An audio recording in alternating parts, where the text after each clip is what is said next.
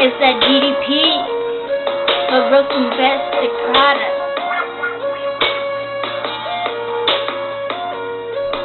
It's that GDP for gross domestic product. Macroeconomic measurements is the fact it ain't no luck. You have to know your info, know your economics and be on the road. We're talking about macroeconomic measurements. It's only a mislead. You'll understand these concepts.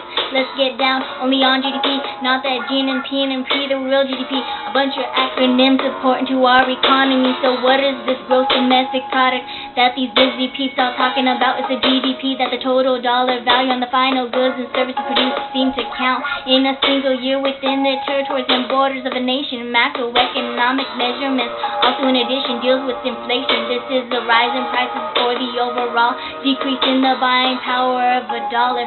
Learning about economics mystery only takes a trimester, not a year. It's that GDP for gross domestic product. Macroeconomic measurements is the fact it ain't no luck.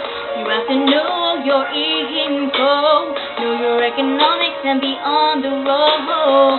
He makes it interesting, however, for us to keep in our minds the important stuff forever. And learning about the GDP, we all learn together. So what makes up the so-called GDP? How about the C, the I, G, the G, and the X? And without it, all these macroeconomic units, it turn our world upside down or to an end.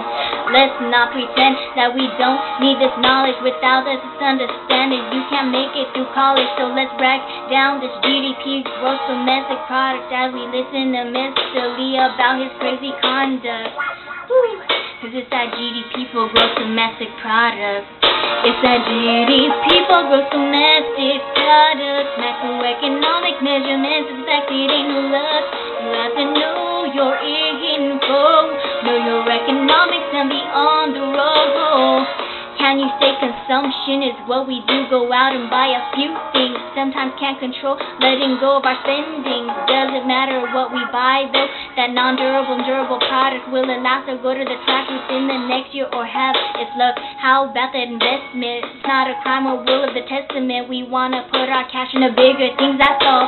Like a car, a boat, or a building that's really tall. Ain't there that government spending? It's that part of GDP where it's all about depending on federal, state, and local government spending on schools, research, defense, orders, police and fire departments.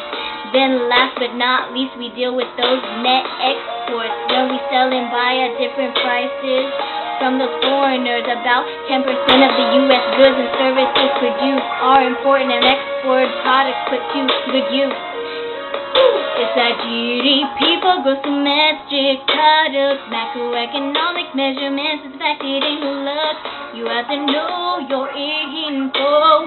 Macroeconomics on the road.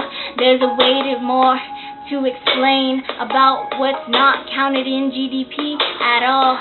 Intermediate products, second-hand sales, non-market transactions, or their sales that are illegal. In addition, those transfer payments don't count too. No, you can't do whatever you wanna do. You have to play by the rules of GDP, gross domestic product. That's how it be. Is that GDP for gross domestic product? Macroeconomic measurements is the fact it ain't no luck. You have to know your info, know your economics, and be on the road. It's that GDP for gross domestic product. Macroeconomic measurements is the fact it ain't no luck. You have to know your info, know your economics, and be on the road.